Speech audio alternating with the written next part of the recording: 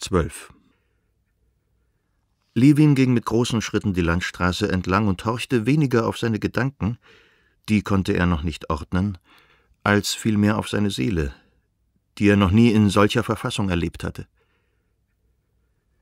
Die Worte des Bauern hatten in seiner Seele gewirkt wie ein elektrischer Funke und einen Schwarm verstreuter, kraftloser Einzelgedanken, die ihn unablässig beschäftigten, auf einen Schlag verwandelt und zu einem Ganzen gefügt.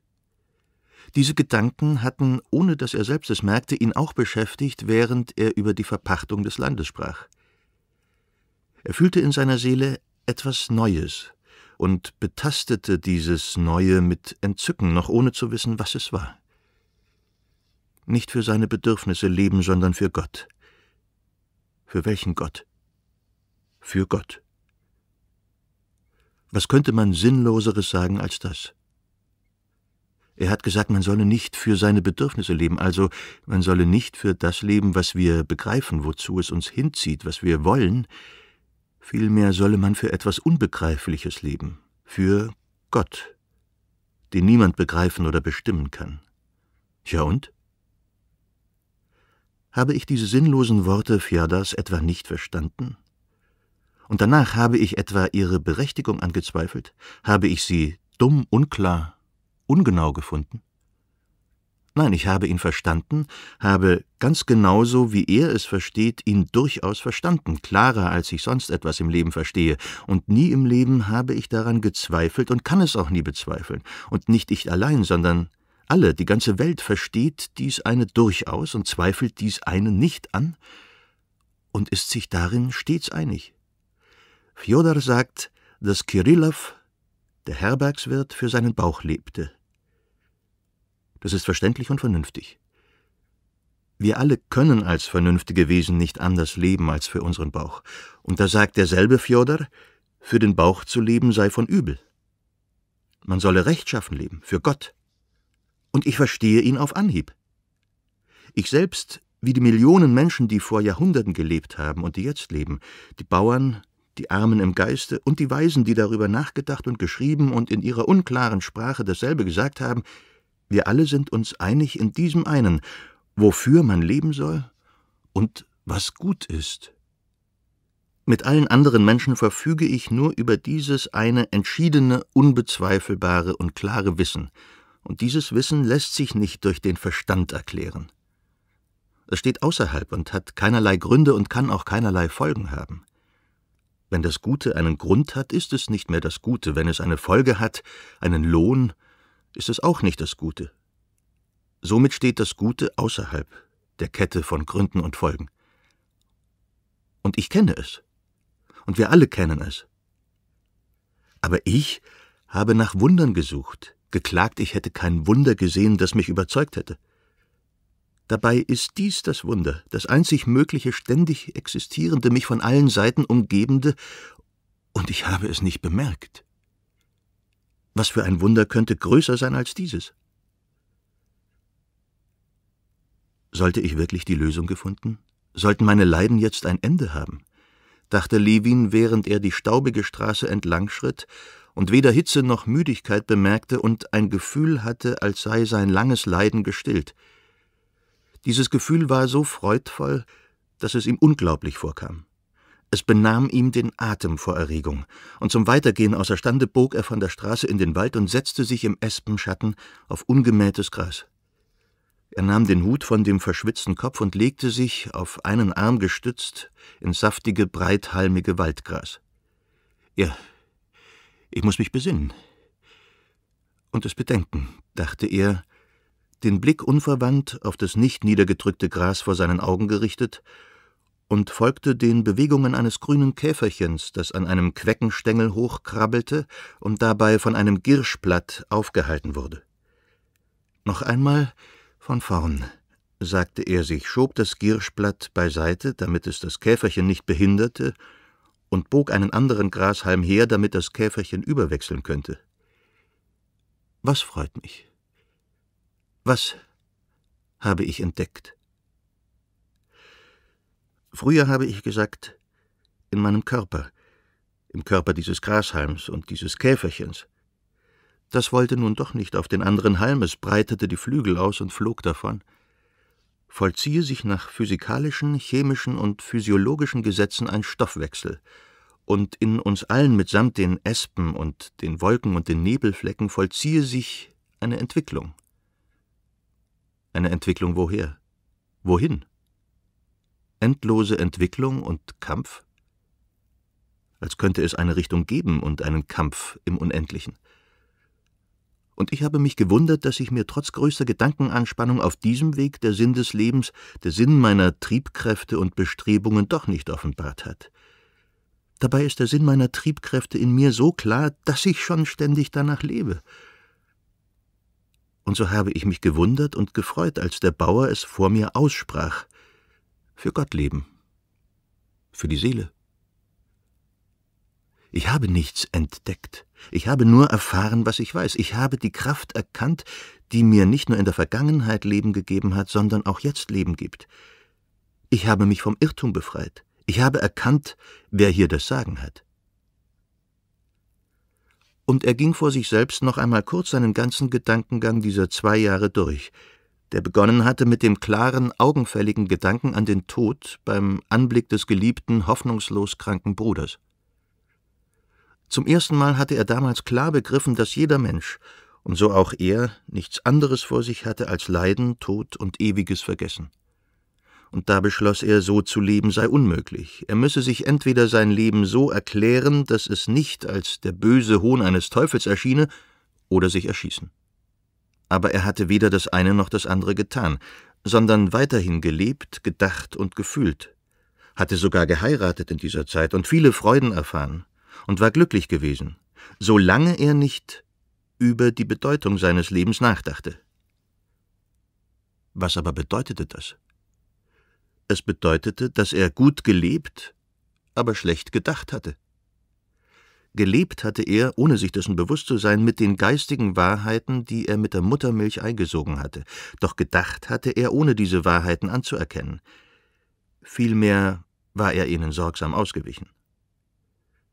Jetzt war ihm klar, dass er nur hatte leben können dank der Glaubensgrundsätze, in denen er erzogen worden war.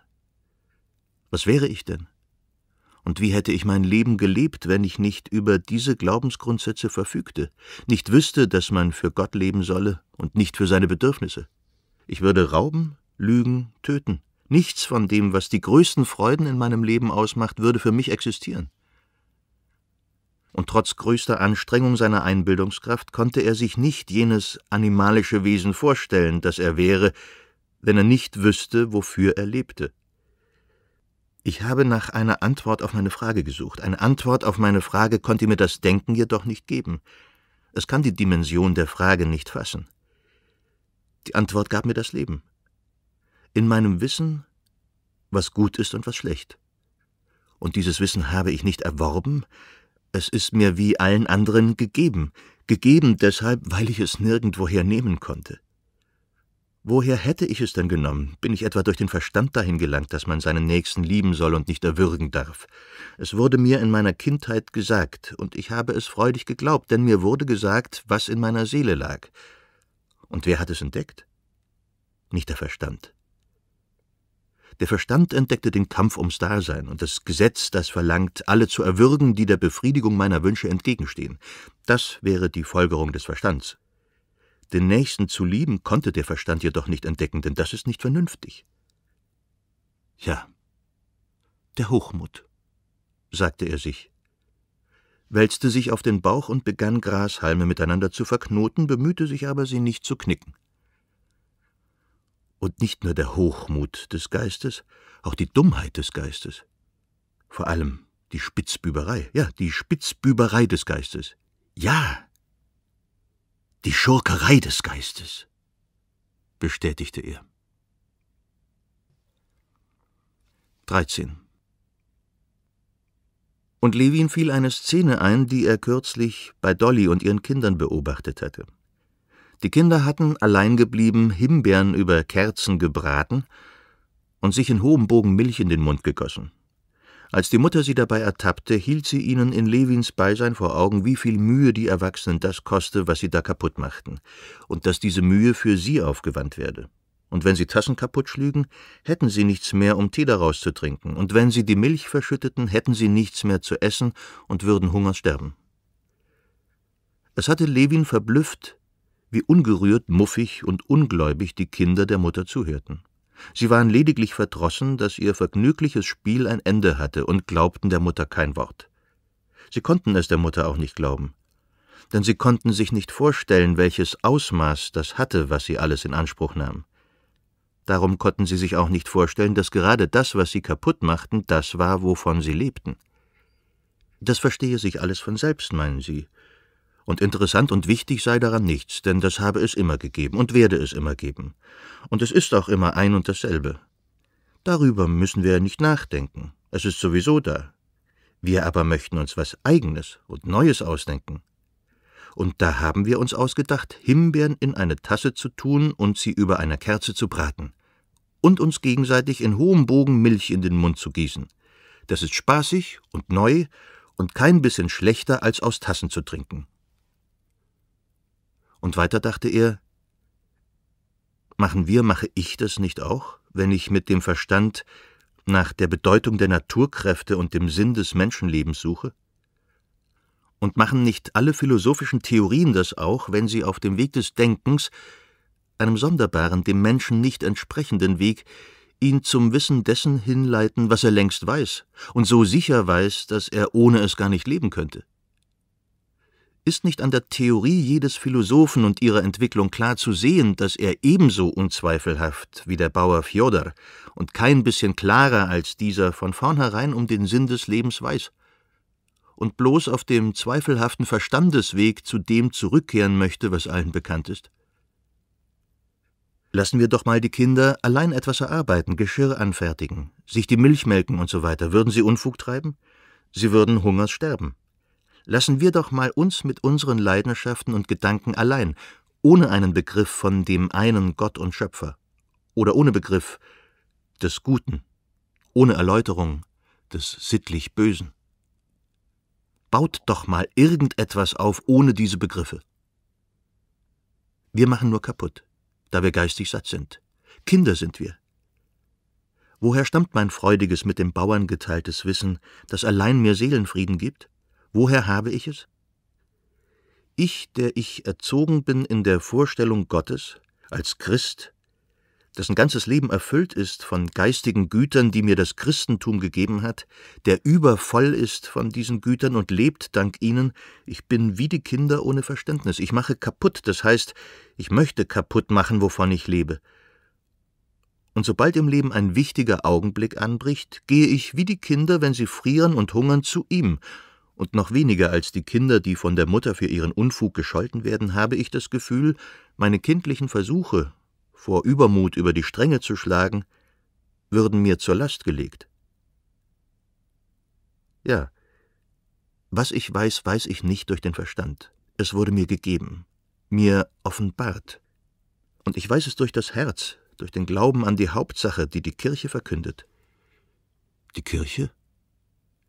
Die Kirche sagte sich Levin noch einmal, legte sich auf die andere Seite, und gestützt auf den Arm blickte er ins Weite, zu der Herde, die am anderen Ufer zum Fluss hinabstieg. Aber kann ich denn an alles glauben, was die Kirche verkündet? überlegte er, da er sich selbst prüfen und alles bedenken wollte, was seine jetzige Ruhe zerstören könnte. Absichtlich rief er sich die Kirchenlehren ins Gedächtnis, die ihm stets am sonderbarsten erschienen und eine Versuchung gewesen waren. Und die Schöpfung? Doch womit erkläre ich das Seiende? Mit dem, was ist? Gar nicht? Und Teufel und Sünde? Doch womit erkläre ich das Böse? Und der Heiland? Aber ich weiß nichts, gar nichts und kann nichts wissen außer dem, was mir mitsamt allen anderen gesagt wurde. Und ihm war jetzt, als gäbe es in der Kirche keinen einzigen Glaubenssatz, der die Hauptsache zerstörte, den Glauben an Gott und an das Gute als die alleinige Bestimmung des Menschen. Unter jedem Glaubenssatz der Kirche könnte der Glaubenssatz stehen, rechtschaffen und nicht nach Bedürfnissen solle man handeln.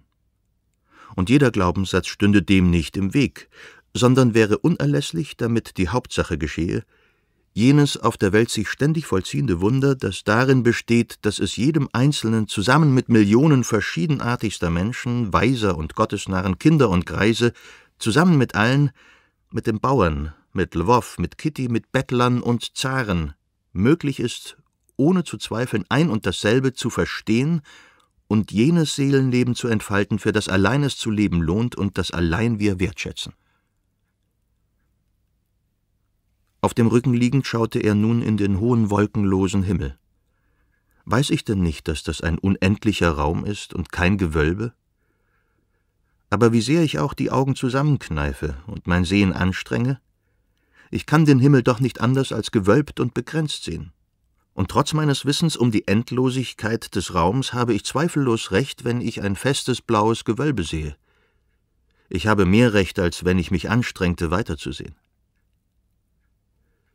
Levin hatte schon zu denken aufgehört und horchte gleichsam nur noch auf die geheimnisvollen Stimmen, die sich freudig und geschäftig untereinander besprachen. Sollte das der Glaube sein? dachte er seinem Glück nicht trauend. Mein Gott. Ich danke dir, stieß er hervor, schluckte das aufsteigende Schluchzen hinunter und wischte sich mit beiden Händen die Tränen ab, die ihm in den Augen standen. 14. Levin schaute geradeaus und sah die Herde. Dann erblickte er seinen Karren, den vorgespannten Woran und den Kutscher der zur Herde fuhr und dort mit dem Hirten etwas beredete. Dann hörte er das Räderrasseln und Schnauben des wohlgenährten Pferdes schon in seiner Nähe, aber er war so in seine Gedanken vertieft, dass er gar nicht überlegte, weshalb der Kutscher zu ihm gefahren kam. Das wurde ihm erst bewusst, als der Kutscher ganz nah war und ihn rief. Die gnädige Frau schicken mich. Ihr Herr Bruder ist eingetroffen. Und noch ein Herr. Levin stieg in den Karren und nahm die Leinen. Wie vom Schlaf erwacht, konnte Levin sich lange nicht besinnen. Er schaute auf das wohlgenährte Pferd, das zwischen den Schenkeln und am Hals, wo die Riemen scheuerten, schaumbedeckt war, schaute auf den Kutscher Iwan, der neben ihm saß, und rief sich ins Gedächtnis, dass er den Bruder erwartet hatte, dass seine Frau sich bestimmt Sorgen machte über sein langes Ausbleiben, und suchte zu erraten, wer der mit seinem Bruder eingetroffene Gast war. Sowohl der Bruder wie seine Frau wie der unbekannte Gast stellten sich ihm nun anders dar als früher. Ihm war, als wäre sein Verhältnis zu allen Menschen nun bereits ein anderes. Mit meinem Bruder wird es nicht mehr zu dieser Fremdheit kommen, die stets zwischen uns stand. Es wird nicht zu Streit kommen. Mit Kitty wird es nie mehr zu Zank kommen. Mit dem Gast, wer es auch sein mag, werde ich sanft und gut umgehen. Mit den Leuten, mit Ivan, alles wird anders sein. Während er das wackere Pferd, das vor Ungeduld schnaubte und vorwärts drängte, an der kurzen Leine hielt, schaute er auf den neben ihm sitzenden Iwan, der nicht wusste, wohin mit seinen untätigen Händen, darum unablässig sein Hemd straff zog, und suchte nach einem Vorwand, um mit ihm ein Gespräch zu beginnen. Er wollte sagen, Iwan habe den Deichselriemen unnötig hochgezogen, aber das hätte wie ein Vorwurf geklungen und er wollte gern ein liebevolles Gespräch. Doch kam ihm nichts anderes in den Sinn. Wenn Sie rechts halten wollten, da ist ein Baumstumpf, sagte der Kutscher und korrigierte Lewin am Lenkseil. Bitte greif nicht ein und belehre mich nicht. Die Einmischung des Kutschers ließ Lewin heftig aufbrausen. Genauso wie ihn eine solche Einmischung auch sonst hätte aufbrausen lassen, und Lewin merkte bekümmert, wie falsch die Annahme war, seine Seelenverfassung könnte ihn bei der Berührung mit der Wirklichkeit schlagartig verändern.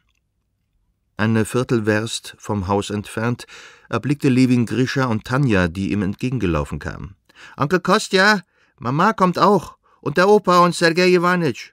Und noch jemand, sagten sie, als sie auf den Karren kletterten. Wer denn? Ganz furchtbar ist der und macht so mit den Armen. Tanja richtete sich im Karren auf und ahmte Katawassow nach. Ein Alter oder ein Junger? fragte Levin lachend. An Tanjas Darbietung kam ihm irgendwas bekannt vor. Oh, wäre es nur kein unangenehmer Mensch, dachte Levin. Kaum hatte er nach einer Wegbiegung die Entgegenkommenden erblickt, erkannte er unterm Strohhut Katawassow, der beim Gehen tatsächlich so mit den Armen fuchtelte, wie Tanja es vorgemacht hatte.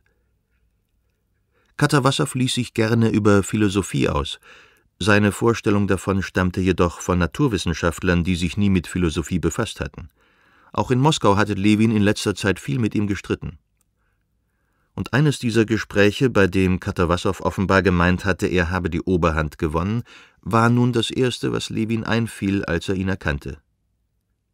Nein, streiten und leichtfertig meine Gedanken äußern werde ich auf gar keinen Fall mehr, überlegte er. Lewin stieg aus dem Karren, begrüßte den Bruder und Katawassow und fragte nach seiner Frau. Sie hat Mitya in den Korlak gebracht. Das war der Wald unweit des Hauses. Sie wollte ihn dort schlafen lassen, im Haus ist es so heiß, sagte Dolly. Lewin hatte seiner Frau immer abgeraten, das Kind in den Wald zu bringen, da er das für gefährlich hielt. Und die Nachricht berührte ihn unangenehm. Sie schwirrt mit ihm von einem Ort zum anderen, sagte der Fürst lächelnd. Ich habe ihr geraten, es mal mit dem Eiskeller zu versuchen. Sie wollte zum Bienengarten kommen, denn sie meinte, du wärst dort. Und wir gehen auch dorthin, sagte Dolly. Sergei Iwanowitsch blieb ein wenig hinter den anderen zurück, gesellte sich zum Bruder und fragte: Na, was treibst du? Ach, nichts Besonderes. Wie immer. Kümmere mich um die Wirtschaft, erwiderte Levin. Und du? Bleibst du eine Weile? Wir haben dich längst erwartet. An die zwei Wochen, sehr viel zu tun in Moskau. Bei diesen Worten trafen sich die Augen der Brüder, und trotz Lewins fortwährendem und jetzt besonders starken Wunsch, ein freundschaftliches und vor allem schlichtes Verhältnis zu seinem Bruder zu unterhalten, spürte er, dass er verlegen war, wenn er ihn ansah. Er schlug die Augen nieder und wusste nicht, was er sagen sollte. In Gedanken ging Lewin die Gesprächsgegenstände durch, die Sergei Iwanowitsch angenehm wären und ihn vom Gespräch über den serbischen Krieg und die slawische Frage ablenken könnten, auf die er mit seiner Bemerkung über Moskau angespielt hatte. Und er fing von Sergei Iwanowitschs Buch an. Na, gab es Rezensionen zu deinem Buch? fragte er. Sergei Iwanowitsch musste über die Absicht der Frage lächeln. Das kümmert jetzt niemanden, und mich am allerwenigsten, sagte er. Schauen Sie, Darja Alexandrowna, da zieht Regen auf, fügte er hinzu und deutete mit dem Schirm auf die weißen Wölkchen, die sich über den Espenwipfeln zeigten. Und diese Worte genügten, dass das nicht feindselige, aber kalte Verhältnis, das Lewin hatte vermeiden wollen, sich zwischen den Brüdern wieder einstellte. Lewin ging zu Katawassow. Wie gut haben Sie daran getan, dass Sie die Idee hatten, herzukommen, sagte er zu ihm. Ich wollte es ja längst. Jetzt werden wir uns unterhalten. Schauen wir mal. Haben Sie Spencer gelesen? Nein, ich bin noch nicht durch, sagte Levin. Im Übrigen kann ich ihn jetzt nicht brauchen. Wie das? Interessant. Weshalb? Also, ich bin endgültig zu der Überzeugung gekommen, dass ich eine Antwort auf die mich beschäftigenden Fragen bei ihm und seinesgleichen nicht finden werde. Jetzt. Doch mit einem Mal verblüffte ihn Katawassows gelassener und heiterer Gesichtsausdruck, Ihn dauerte dermaßen, dass er seine Stimmung mit diesem Gespräch offenbar zerstören würde, dass er seines Vorsatzes eingedenk innehielt. Im Übrigen davon reden wir später, fügte er hinzu. Wenn zum Bienengarten, dann hier lang, auf diesem Pfad, erklärte er allen. Auf dem schmalen Pfad gelangten sie zu einer ungemähten Lichtung, die auf der einen Seite gänzlich von leuchtendem Wachtelweizen bedeckt war zwischen dem allenthalben die hohen dunkelgrünen Stauden des weißen Germers aufragten, und dort ließ Lewin seine Gäste im dichten, frischen Schatten junger Espen Platz nehmen, auf einer Bank und auf Holzklötzen, bereitgestellt für Besucher des Bienengartens, die sich vor den Bienen fürchteten, und er selbst ging hinter die Umzäunung, um Kindern und Erwachsenen Brot, Gurken und frischen Honig zu bringen. Bemüht, sich möglichst nicht rasch zu bewegen und auf die immer häufiger vorbeifliegenden Bienen horchend, gelangte er auf dem Pfad zur Hütte. Unmittelbar vor der Diele verfing sich eine Biene in seinem Bart und sirrte, aber er konnte sie behutsam frei bekommen. In der schattigen Diele nahm er sein am Nagel hängendes Netz von der Wand, zog es über und steckte die Hände in die Taschen und so trat er in den umzäunten Bienengarten, wo auf dem abgemähten Platz in akkuraten Reihen, mit Bast an Pfähle gebunden, die alten Bienenstöcke standen, alle mit ihrer Geschichte, alle ihm bekannt, und am Flechtzaun entlang die jungen, in diesem Jahr erst besetzten Stöcke. Vor den Fluglöchern schwirrte es nur so von kreisenden und sich an einer Stelle drängenden, tanzenden Bienen und Drohnen, und dazwischen flogen ständig in einer Richtung hin zum Wald, zu den blühenden Linden und zurück zu den Bienenstöcken die Arbeitsbienen und brachten Höschen um Höschen. In den Ohren klangen ihm unablässig die verschiedenartigsten Töne, mal eine beschäftigte, rasch vorbeisausende Arbeiterin, mal ein röhrender, müßiger Drohn, mal erregte, vor dem Feind ihre Haar beschützende, zum Stechen bereite Wachbienen. Jenseits des Zauns hobelte der alte Bienenvater einen Fassreif und sah Levin nicht. Ohne ihn zu rufen, blieb Levin mitten im Bienengarten stehen. Er war froh über die Gelegenheit, allein zu sein, um sich zu besinnen. Angesichts einer Wirklichkeit, die seine Stimmung schon derart heruntergezogen hatte. Ihm fiel ein, dass er sich bereits über Iwan geärgert, dem Bruder Kälte gezeigt und leichtfertig mit Katawassow geredet hatte. Sollte es tatsächlich nur die Stimmung eines Augenblicks gewesen sein und spurlos vergehen, überlegte er. Aber im gleichen Moment war er in seine Stimmung zurückgekehrt und spürte voll Freude, dass sich etwas Neues und Wichtiges in ihm vollzogen hatte. Die Wirklichkeit hatte den Seelenfrieden, zu dem er gefunden hatte, nur kurzzeitig überdeckt, er war in ihm jedoch unversehrt genauso wie die Bienen, die ihn nun umschwirrten, bedrohten und ablenkten und seine körperliche Ruhe raubten, ihn veranlassten, sich klein zu machen, um ihnen auszuweichen, so hatten die Sorgen von dem Moment an, als er den Karren bestieg, ihn umringt und ihm die seelische Freiheit geraubt. Aber das dauerte nur so lange, als er mitten unter ihnen war. Wie seine Körperkraft trotz der Bienen unversehrt war, so war auch die ihm neu bewusst gewordene Geisteskraft in ihm unversehrt. 15.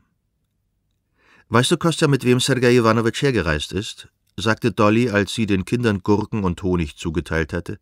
Mit Wronski. Er geht nach Serbien. Und das nicht allein?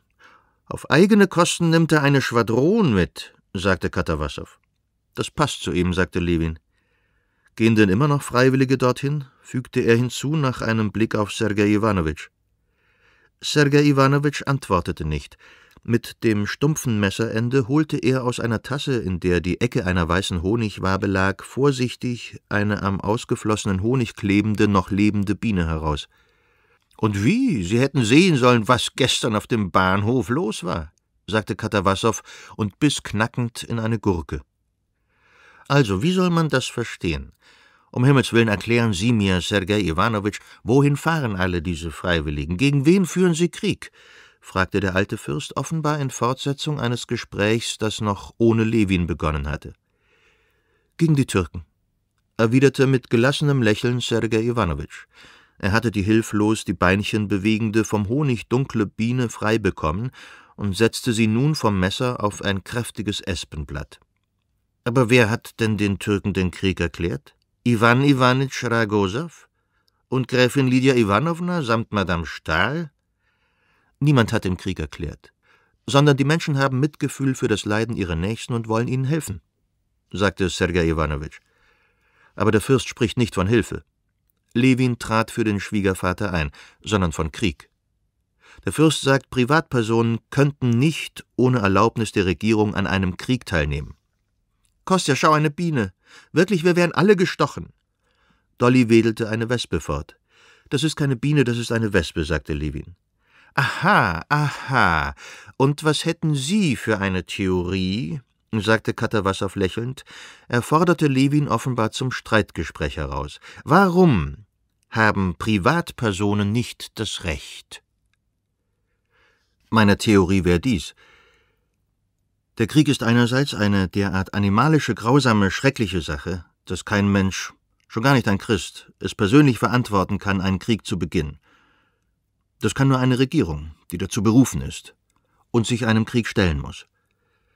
Andererseits sagt sowohl die Wissenschaft wie der gesunde Menschenverstand, dass die Bürger in Staatsangelegenheiten, besonders in Sachen Krieg, auf ihren persönlichen Willen verzichten müssen. Sergei Iwanowitsch und Katawassow hoben gleichzeitig mit ihren schon fertigen Einsprüchen an. Das ist ja der Witz, mein Bester, dass es Fälle geben kann, wenn die Regierung nicht den Willen der Bürger erfüllt und dann verkündet die Gesellschaft ihren Willen, sagte Katawassow. Aber Sergei Iwanowitsch billigte diesen Einspruch offenbar nicht. Er runzelte zu Katawassows Worten die Stirn und sagte etwas anderes. Du hast Unrecht, die Frage so zu stellen. Da geht es nicht um eine Kriegserklärung, sondern schlicht um die Äußerung eines menschlichen, christlichen Gefühls. Getötet werden Brüder gleichen Blutes und gleichen Glaubens. Und gar nicht so sehr Brüder gleichen Glaubens, sondern schlicht Kinder, Frauen und Alte. Das Gefühl empört sich, und russische Menschen laufen hin, um mitzuhelfen, diesem Grauen ein Ende zu setzen. Stell dir vor, du würdest eine Straße lang gehen und sehen, wie Betrunkene eine Frau oder ein Kind schlagen. Ich denke, du würdest nicht erst fragen, ob diesem Menschen der Krieg erklärt wurde, sondern würdest dich zur Verteidigung auf ihn stürzen. Würde ihn aber nicht töten, sagte Levin. Doch, du würdest ihn töten. Ich weiß nicht. Wenn ich so etwas sehen würde, ließe ich mich unmittelbar von meinem Gefühl leiten. Im Voraus kann ich das nicht sagen. Solch ein unmittelbares Gefühl für die unterjochten Slawen gibt es jedoch nicht und kann es nicht geben. Vielleicht für dich nicht, für andere gibt es das schon. Sergei Iwanowitsch runzelte unzufrieden die Stirn. Im Volk sind Legenden über die Rechtgläubigen lebendig, die unterm Joch der ruchlosen Muselmänner leiden. Das Volk hat vom Leiden seiner Brüder erfahren und seine Stimme erhoben. Vielleicht, meinte Levin ausweichend, aber ich sehe das nicht. Ich bin selbst das Volk, und ich fühle das nicht. Ich auch nicht, sagte der Fürst. Ich war im Ausland, habe Zeitungen gelesen und gebe zu, dass mir noch vor den bulgarischen Schreckensmeldungen nicht in den Kopf wollte, weshalb alle Russen mit einem Mal die slawischen Brüder so lieb gewonnen hatten, während ich keinerlei Liebe für sie empfand. Ich war sehr betrübt. Ich dachte, ich sei aus der Art geschlagen oder Karlsbad habe auf mich diese Wirkung. Aber als ich wieder zurück war, beruhigte ich mich, da ich gesehen habe, dass es auch außer mir noch Menschen gibt, die sich nur für Russland interessieren und nicht für die slawischen Brüder. So auch Konstantin. Persönliche Meinungen haben da nichts zu bedeuten, sagte Sergei Iwanowitsch. Persönliche Meinungen sind unerheblich, da ganz Russland, das Volk, seinen Willen bekundet hat. Aber entschuldigen Sie, ich sehe das nicht. Das Volk weiß doch von nichts, sagte der Fürst. Doch, Papa, wieso denn nicht? Und am Sonntag in der Kirche? Dolly hatte dem Gespräch gelauscht. Gib mir doch bitte ein Handtuch, sagte sie zu dem Alten, der lächelnd auf die Kinder schaute. Es kann ja nicht sein, dass alle. Was heißt am Sonntag in der Kirche? Der Priester hatte den Auftrag, etwas vorzulesen, das hat er getan. Sie haben nichts begriffen, haben geseufzt wie bei jeder Predigt, fuhr der Fürst fort, dann wurde ihnen gesagt, in der Kirche werde für eine Sache gesammelt. Nun zum Seelenheil zog da jeder seine Kopeke raus und gab sie her, doch wofür wissen sie selbst nicht. Es kann nicht sein, dass das Volk es nicht weiß. Ein Bewusstsein von seinen Geschicken hat das Volk immer und in Momenten wie diesen wird es ihm klar, sagte Sergei Iwanowitsch, den Blick auf den alten Bienenvater gerichtet. Der schöne Alte mit dem graudurchsetzten schwarzen Bart und dem dichten silbrigen Haar stand unbeweglich, er hielt das Gefäß mit dem Honig und blickte liebevoll und gelassen von der Höhe seines Wuchses auf die Herrschaften, offenbar ohne etwas zu begreifen oder begreifen zu wollen. Ja, so ist es, sagte er auf Sergei Iwanowitschs Worte und nickte bedeutsam. Fragt ihn doch. Er weiß nichts und denkt auch gar nicht daran, sagte Levin. Hast du von dem Krieg gehört, Michailitsch? sprach er ihn an. Was da in der Kirche vorgelesen wurde, was denkst du? Müssen wir Krieg führen für die Christenmenschen? Was sollen wir denken? Alexander Nikolajitsch, der Kaiser, der hat uns bedacht. Er bedenkt uns ja in allen Dingen. Er weiß es besser. Soll ich nicht noch Brot bringen? Kriegt der Bub noch was? fragte er Darja Alexandrowna und deutete auf Grisha, der am letzten Stück Rinde kaute. Ich brauche nicht zu fragen, sagte Sergei Iwanowitsch. Wir haben Hunderte und Aberhunderte Menschen gesehen und sehen sie noch, die alles stehen und liegen lassen, um der gerechten Sache zu dienen, von allen Ecken und Enden Russlands kommen und ihre Idee und ihr Ziel direkt und deutlich zum Ausdruck bringen. Sie leisten ihr Schärflein oder gehen selbst und sagen direkt weshalb. Was heißt das wohl? Es heißt meiner Meinung nach, sagte Levin, der sich zu ereifern begann, dass in einem 80-Millionen-Volk sich immer Menschen finden, nicht nur Hunderte wie jetzt, sondern Zehntausende, die ihre Position in der Gesellschaft eingebüßt haben, draufgängerische Menschen, die immer bereit sind, ob in die Bande Pugatschows oder nach Chiva, nach Serbien. Ich sage dir doch, es sind nicht nur Hunderte und keine draufgängerischen Menschen, sondern die besten Vertreter des Volkes. Sergei Iwanowitsch war so aufgebracht, als verteidigte er seine letzte Habe. Und die Opfergaben? Da drückt doch direkt das ganze Volk seinen Willen aus. Dieses Wort Volk ist so unbestimmt, sagte Levin. Amtsschreiber, Lehrer und bei den Bauern einer von tausend wissen vielleicht, worum es geht. Die übrigen 80 Millionen drücken wie Michailitsch gar nicht ihren Willen aus. Vielmehr haben sie nicht die geringste Ahnung, worüber sie ihren Willen ausdrücken sollen. Was für ein Recht haben wir zu der Aussage, das sei der Wille des Volkes? 16. Sergei Iwanowitsch, in Dialektik erfahren, widersprach nicht, sondern lenkte das Gespräch sofort auf ein anderes Terrain. Ja, wenn du rein rechnerisch den Geist des Volkes erfassen möchtest, ist es natürlich sehr schwierig. Und eine Stimmabgabe ist bei uns nicht eingeführt und kann nicht eingeführt werden, weil das den Willen des Volkes auch nicht ausdrückt. Dafür gibt es jedoch andere Wege. Das spürt man in der Luft, das spürt man mit dem Herzen ganz zu schweigen von jenen Strömungen unter Wasser, die im stehenden Meer des Volkes in Bewegung geraten sind, für jeden unvoreingenommenen Menschen sichtbar. Schau dir doch nur die Gesellschaft im engeren Sinne an, all die unterschiedlichen Parteien in der gebildeten Welt, die einander früher so feind waren, sind in eins verschmolzen. Jeglicher Hader hat ein Ende, alle Organe der Gesellschaft sagen unisono dasselbe, alle spüren die Elementarkraft, die sie erfasst hat und in dieselbe Richtung trägt. Ja, die Zeitungen sagen alle ein und dasselbe, warf der Fürst ein. Das stimmt. Dermaßen ein und dasselbe. Es klingt wie Frösche vor dem Gewitter. Ihretwegen ist nichts zu hören. Frösche hin oder her, ich gebe keine Zeitungen heraus und mag sie nicht verteidigen. Ich spreche vielmehr von der Einmütigkeit in der gebildeten Welt, sagte Sergei Iwanowitsch zum Bruder gewandt. Levin wollte antworten, aber der alte Fürst kam ihm zuvor. Also zu dieser Einmütigkeit ließe sich noch manches sagen, meinte der Fürst. Meinen Herrn Schwiegersohn Stepan Arkadjitsch, den kennen Sie ja. Er bekommt jetzt den Posten eines Komiteemitglieds der Kommission und so weiter, was weiß ich nicht mehr. Bloß zu tun gibt es da gar nichts. Nun, Dolly, das ist kein Geheimnis. Dafür 8000 Gehalt. Fragen Sie ihn doch mal, ob sein Dienst von Nutzen sei. Er wird Ihnen beweisen, es gebe nichts Notwendigeres. Und er ist ein aufrichtiger Mensch, aber an den Nutzen von 8000 muss man einfach glauben. Ja, er bat mich, Darja Alexandrowna den Erhalt des Postens mitzuteilen, sagte Sergei Iwanowitsch missmutig, da er fand, der Fürst rede nicht zur Sache. Genauso ist es mit der Einmütigkeit der Zeitungen. Mir hat das jemand so gedeutet. Sobald es Krieg gibt, nehmen Sie doppelt so viel ein. Wie sollen Sie dann nicht meinen, dass die Geschicke des Volkes und der Slawen und all das? Ich mag viele Zeitungen nicht, aber das ist ungerecht, sagte Sergei Iwanowitsch. Ich würde nur eine Bedingung stellen, fuhr der Fürst fort. Alphonse Carr hat es vor dem Krieg mit Preußen wunderbar formuliert. Sie meinen, ein Krieg sei notwendig? Wunderbar. Wer den Krieg predigt, kommt in eine besondere vorgeschobene Legion und dann auf zum Sturm zur Attacke, allen voran.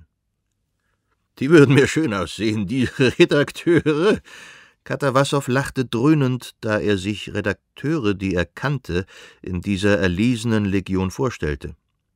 Tja, sie werden davonlaufen, meinte Dolly, werden bloß stören. Und falls sie flüchten, werden von hinten Kartätschen eingesetzt oder Kosaken mit Peitschen, sagte der Fürst. Das ist ein Scherz. Ein unguter Scherz, verzeihen Sie mir, Fürst sagte Sergei Iwanowitsch. Ich sehe nicht, wieso das ein Scherz ist. Es ist, hob Levin an, aber Sergei Iwanowitsch unterbrach ihn. Jedes Mitglied der Gesellschaft ist berufen, das Seine zu tun, das, was ihm entspricht, sagte er. Und Geistesmenschen erfüllen das ihre, wenn sie die öffentliche Meinung zum Ausdruck bringen. Und die einhellige und umfassende Darstellung der öffentlichen Meinung ist ein Verdienst der Presse und zugleich eine erfreuliche Erscheinung. Vor 20 Jahren hätten wir geschwiegen, jetzt aber ist die Stimme des russischen Volkes zu hören, welches bereit ist, aufzustehen wie ein Mann und bereit ist, sich für die unterjochten Brüder aufzuopfern. Das ist ein grandioser Schritt und ein Vorgriff auf Stärke. Aber es geht ja nicht nur ums Opfern, sondern darum, Türken zu töten, warf Levin scheu ein. Das Volk opfert gern für sein Seelenheil und ist immer bereit dazu. Aber nicht fürs Töten fügte er hinzu, dabei verknüpfte er das Gespräch unwillkürlich mit den Gedanken, die ihn so beschäftigten. Wieso Seelenheil? Seele ist, Sie verstehen, für einen Naturwissenschaftler ein schwieriger Ausdruck. Was ist das denn, Die Seele, sagte Katawassow lächelnd. Ach, das wissen Sie doch. Bei Gott, ich habe nicht die geringste Ahnung. Katawassow lachte dröhnend. Ich bin nicht gekommen, Frieden zu bringen, sondern das Schwert, sagte Herr. Entgegnete seinerseits Sergei Iwanowitsch und führte damit schlicht und wie selbstverständlich jene Bibelstelle an, die Lewin stets am meisten irritierte. Ja, so ist es, wiederholte der Alte, der neben ihnen stand, als Antwort auf einen Blick, der zufällig auf ihn gefallen war. Na bitte, mein Bester, Sie sind geschlagen, vollkommen geschlagen, rief Katawassow vergnügt. Lewin wurde rot vor Ärger, nicht weil er geschlagen war, sondern weil er sich nicht zurückgehalten und auf das Streitgespräch eingelassen hatte. Nein, ich darf nicht streiten mit Ihnen, überlegte er. Sie haben einen undurchdringlichen Panzer. Und ich bin nackt. Er sah, dass sein Bruder und Katawassow nicht zu überzeugen waren und noch weniger sah er eine Möglichkeit, ihnen zuzustimmen. Was sie predigten, war jener Hochmut des Geistes, der ihn fast zugrunde gerichtet hätte. Er konnte nicht zustimmen, dass einige Dutzend Menschen, darunter sein Bruder, das Recht haben sollten, aufgrund dessen, was ihnen Hunderte in die Hauptstadt gekommener schönrednerischer Freiwilliger erzählt hatten, nun zu sagen, sie und die Zeitungen brächten Willen und Gedanken des Volkes zum Ausdruck, zumal Gedanken, die auf Rache und Totschlag hinausliefen. Er konnte dem nicht zustimmen, weil er im Volk, in dessen Mitte er lebte, diese Gedanken nicht ausgedrückt sah und sie auch in sich nicht fand, und sich selbst konnte er nicht anders sehen denn als einen der Menschen, die das russische Volk bildeten. Und vor allem weil er zusammen mit dem Volk nicht wusste, nicht wissen konnte, worin das Gemeinwohl bestand, aber sicher wusste, dass es nur möglich war, dieses Gemeinwohl zu erlangen, wenn jenes Gesetz des Guten, das sich jedem Menschen offenbart, streng befolgt wurde. Und darum konnte er keinen Krieg wollen und irgendwelcher allgemeinen Ziele wegen den Krieg predigen. Er sagte zusammen mit Michailitsch und dem Volk, das seine Gedanken in der Überlieferung von der Berufung der Varäger ausgedrückt hat, Seid Fürsten und herrscht über uns. Wir versprechen euch freudig völligen Gehorsam. Alle Mühen, alle Demütigungen, alle Opfer nehmen wir auf uns. Aber nicht wir richten und entscheiden. Und jetzt hatte das Volk nach Sergei Iwanowitschs Worten auf dieses so teuer erkaufte Recht verzichtet. Er hätte gerne noch gesagt, wenn die öffentliche Meinung ein so unfehlbarer Richter sei, wieso dann die Revolution, die Kommunen nicht ebenso rechtens wären wie die Bewegung zugunsten der Slawen.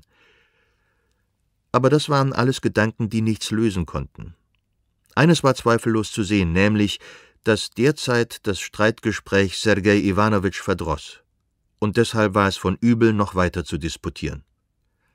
So schwieg Lewin und lenkte die Aufmerksamkeit der Gäste darauf, dass die Wölkchen sich verdichtet hatten und es besser wäre, vor dem Regen nach Hause zu gehen. 17. Der Fürst und Sergei Iwanowitsch stiegen in den Karren und fuhren. Die übrige Gesellschaft ging schleunigen Schrittes zu Fuß nach Hause. Aber die Wolkenfront zog bald weißer, bald schwärzer, so rasch heran, dass sie noch einen Schritt zulegen mussten, um es vor dem Regen nach Hause zu schaffen. Vorgeschobene Wolken, tief hängend und schwarz wie rußdurchsetzter Rauch, jagten in ungewöhnlichem Tempo über den Himmel. Bis zum Haus waren es noch 200 Schritt, da kam schon der Wind auf, jeden Augenblick konnte der Platzregen einsetzen. Die Kinder rannten verschreckt und freudig kreischend vorweg. Darja Alexandrowna, die mit ihren an den Beinen klebenden Röcken zu kämpfen hatte, ging nicht mehr, sondern rannte und ließ keinen Blick von den Kindern. Die Männer hielten die Hüte fest und gingen in großen Schritten. Sie waren schon am Hauseingang, als ein großer Tropfen auf den Rand der Regenrinne schlug und zersprang. Die Kinder und nach ihnen die Erwachsenen rannten, fröhlich schwatzend, unter den Schutz des Vordachs. Und Katharina Alexandrowna, fragte Lewin Agafja Michailowna, die ihnen in der Diele mit Regenmänteln und Plaids entgegenkam. Wir dachten, sie sei bei Ihnen, sagte sie. Und Mitja? Anscheinend im Kolak, mit der Kinderfrau. Lewin griff nach den Plaids und rannte zum Kolak. In dieser kurzen Zeit hatte sich die Wolkenfront schon so massiv vor die Sonne geschoben, dass es dunkel wurde wie bei einer Sonnenfinsternis. Der Wind suchte Levin hartnäckig aufzuhalten, als beharrte er auf seinem Willen. Er riss Blätter und Blüten von den Linden und entblößte unschön und sonderbar die weißen Birkenzweige, beugte alles in eine Richtung: Akazien, Blumen, Kletten, Gras und Baumwipfel. Die Mägde, die im Garten gearbeitet hatten, liefen kreischend unter das Vordach an der Gesindestube. Der weiße Vorhang des Wolkenbruchs hatte sich schon vor den gesamten ferneren Wald und das halbe nahe Feld geschoben und bewegte sich rasch auf den Kollak zu. Die Nässe des Regens, zersprengt in winzige Tropfen, war in der Luft zu spüren. Den Kopf vorgebeugt und gegen den Wind ankämpfend, der ihm die Tücher entreißen wollte, hatte Lewin schon fast den Kollak erreicht und sah schon hinter der Eiche etwas Weißes, da blitzte mit einem Mal alles auf, entflammte die ganze Erde und schien überm Kopf das Himmelsgewölbe zu bersten. Als Lewin die geblendeten Augen öffnete, erblickte er durch den dichten Regenvorhang, der ihn jetzt vom Kollak trennte, zuallererst und entsetzt die seltsam veränderte Lage des vertrauten grünen Eichenwipfels in der Waldesmitte. Hatte sie womöglich getroffen? Konnte Lewin gerade noch denken, da verschwand, in schnellerer und schnellerer Bewegung der Eichenwipfel hinter den anderen Bäumen, und er hörte das Krachen des großen Baums, der auf die anderen Bäume fiel. Das Licht des Blitzes, das Grollen des Donners und das Gefühl, wie Kälte seinen Körper überlief, verband sich für Lewin zu dem Eindruck puren Entsetzens. Mein Gott, mein Gott, ja nicht auf sie, sprach er. Und obwohl er sogleich dachte, wie sinnlos seine Bitte war, sie sollten von der nun schon gefallenen Eiche nicht erschlagen sein, wiederholte er sie, da er wusste, Besseres als dieses sinnlose Beten konnte er jetzt nicht tun. Als er die Stelle erreichte, wo sie sich gewöhnlich aufhielten, fand er sie nicht. Sie waren am anderen Ende des Waldes unter einer alten Linde und riefen ihn. Zwei Gestalten in dunklen Kleidern, sie hatten helle getragen, standen da und beugten sich über etwas. Es waren Kitty und die Kinderfrau. Der Regen hatte schon stark nachgelassen, und es wurde heller, als Lewin zu ihnen gerannt kam.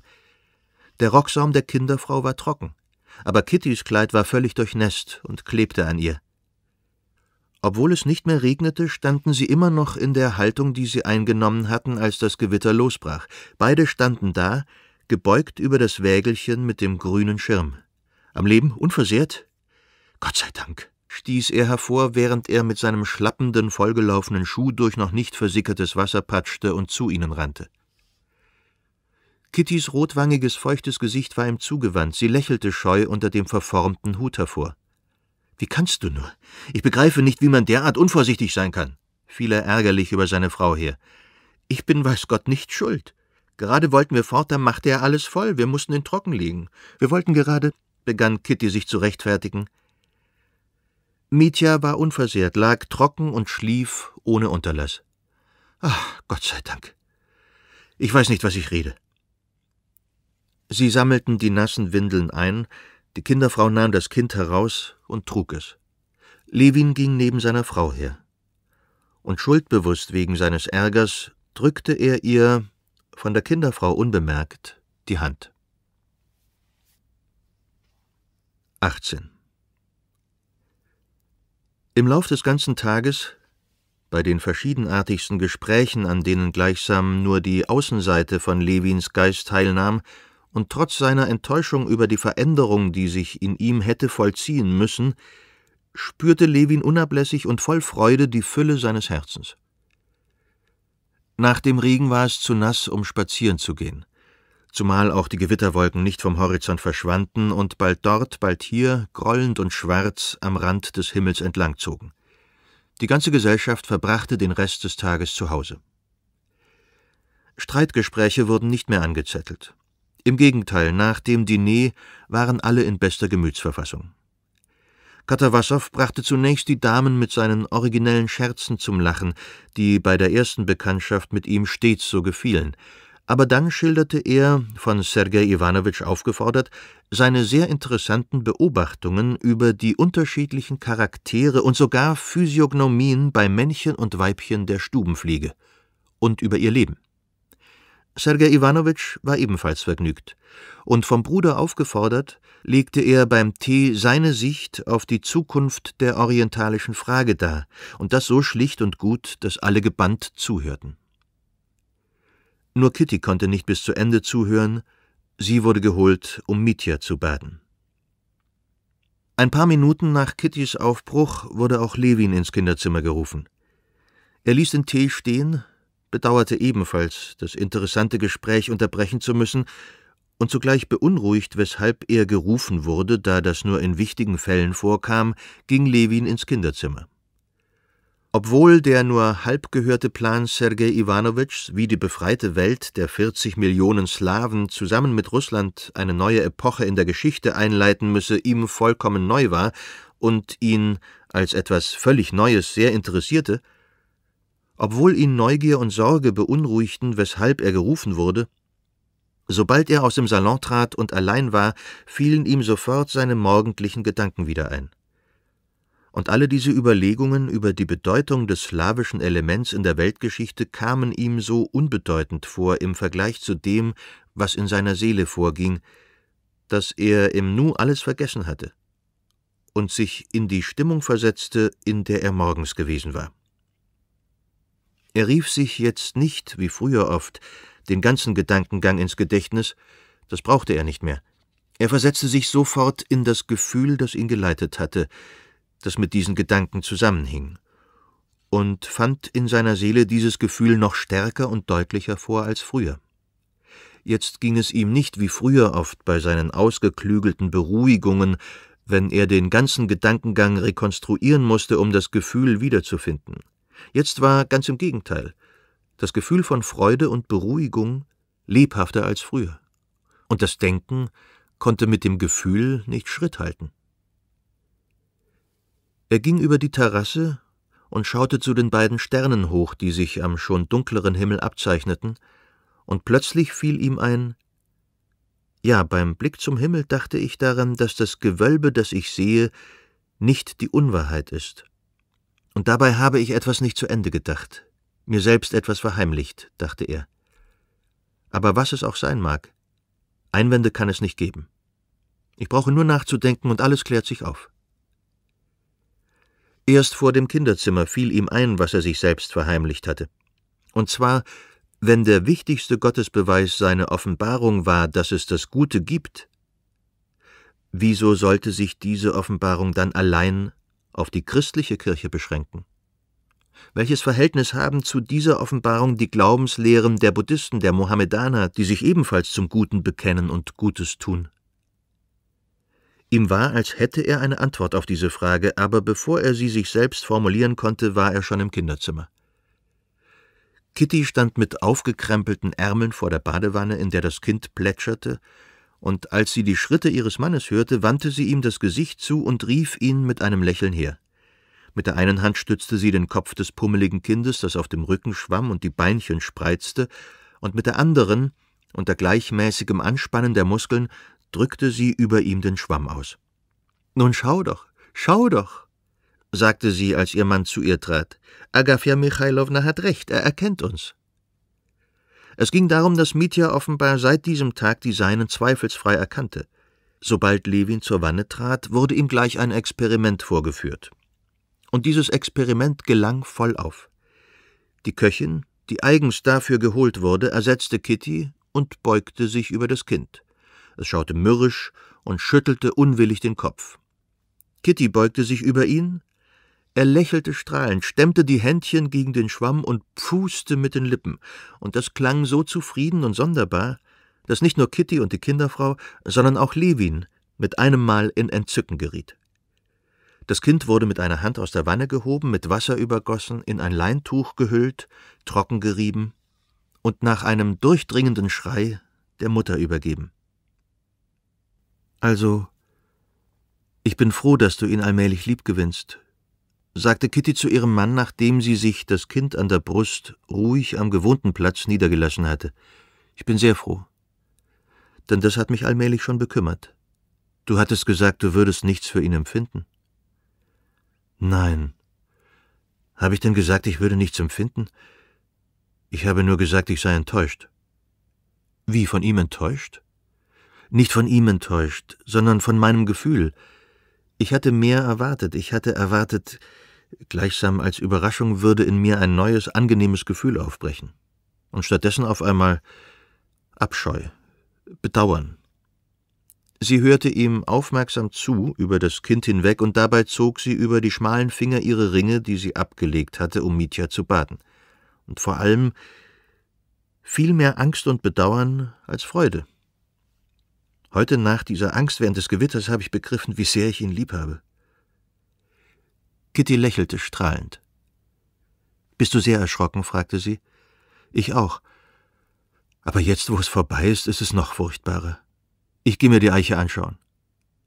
Und wie nett Katawassow ist. Überhaupt war der ganze Tag so angenehm. Du bist auch zu Sergei Iwanowitsch so gut, wenn du nur möchtest. Na, geh zu ihnen. Nach dem Baden ist es hier immer heiß und dunstig. 19. Draußen vor dem Kinderzimmer, wieder allein, fiel Levin gleich der Gedanke ein, an dem noch etwas unklar war. Statt sich in den Salon zu begeben, aus dem die Stimmen zu hören waren, blieb er auf der Terrasse stehen, und aufs Geländer gelehnt schaute er zum Himmel hoch. Es war schon ganz dunkel, und im Süden, wohin er schaute, waren keine Wolken. Die Wolken standen auf der gegenüberliegenden Seite. Dort zuckten Blitze und war ferner Donner zu hören. Levin lauschte den gleichmäßig von den Linden in den Garten fallenden Tropfen, und schaute zu dem ihm vertrauten Sternendreieck und der in seiner Mitte hindurchführenden Milchstraße mit ihrer Abzweigung. Bei jedem Aufzucken eines Blitzes verschwand nicht nur die Milchstraße, auch die hellen Sterne verschwanden, aber sobald der Blitz erloschen war, tauchten sie wie von treffsicherer Hand hingestreut an denselben Stellen wieder auf. Also, was irritiert mich? fragte sich Levin. Dabei fühlte er im Voraus, dass die Auflösung seiner Zweifel obwohl er sie noch nicht kannte, in seiner Seele schon bereit war.